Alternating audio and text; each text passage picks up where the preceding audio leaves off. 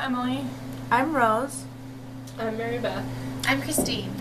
And our experiment is about density and what will happen when we place an orange inside a bin full of water.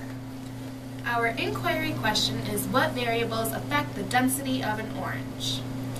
We're going to compare both a peeled and unpeeled orange to see which has a greater density. We claim that by removing the rind of the orange, the orange will become denser than the water, thus causing it to sink. Okay, first we filled a bin with water. Next, we're going to place an unpeeled orange in the water and observe what happens. We see that this orange floats. Now, we're going to peel the same orange and place it back in the water to see if there's any change.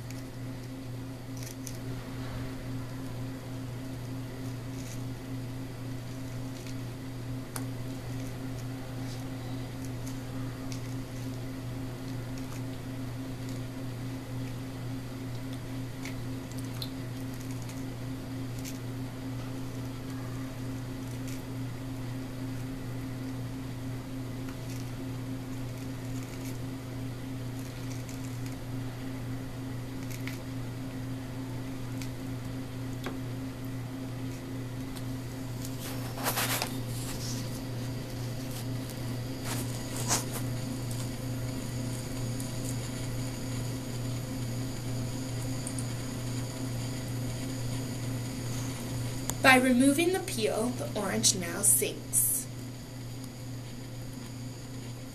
We already know that density is the amount of matter in a given volume. The reason the orange sinks when it is peeled is because the rind, or the peel, of the orange has tiny pockets of air. The atoms in the rind are not as closely packed together compared to the orange itself.